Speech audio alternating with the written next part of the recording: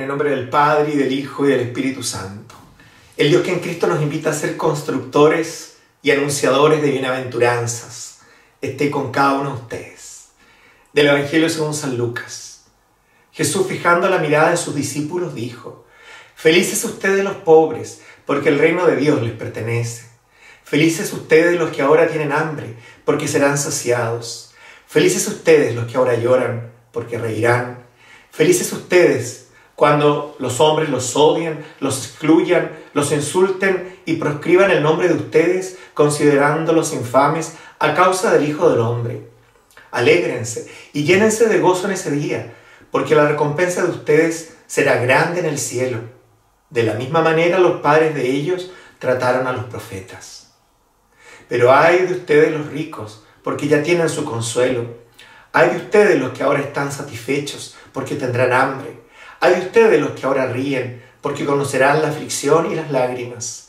Hay de ustedes cuando todos los elogian. De la misma manera los padres de ellos trataban a los falsos profetas. Al igual que Jesucristo en el Sermón de la Montaña, estamos llamados, llenos, llenas de la autoridad de Jesús, a proclamar en el mundo un mensaje de esperanza y salvación, como son estas reiteradas invitaciones a ser felices y estas categóricas advertencias a aquellos que han procurado una felicidad mezquina, una felicidad que no considera al prójimo en el horizonte, porque ya han tenido en este mundo su recompensa, en tanto que los privados, los más limitados, los más marginados y excluidos, tendrán algún día una satisfacción eterna, que será definitiva en el cielo.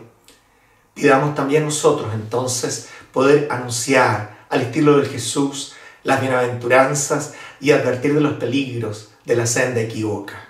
A este Dios que es fiel a la verdad, a este Dios valiente y generoso, que está llamado a anunciar las maravillas del Padre, sea todo honor y gloria por los siglos de los siglos.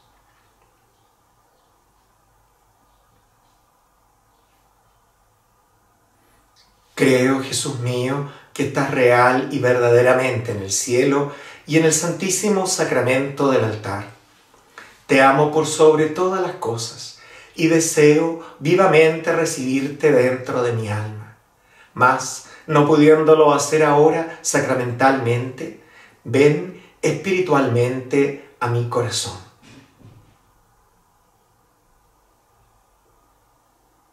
Y como si ya te hubiese recibido, te abrazo uno del todo a ti. Señor, no permitas que me separe de ti. Que les bendiga y les anime, que los haga verdaderos anunciadores de bienaventuranzas, aquel que es Padre, Hijo y Espíritu Santo.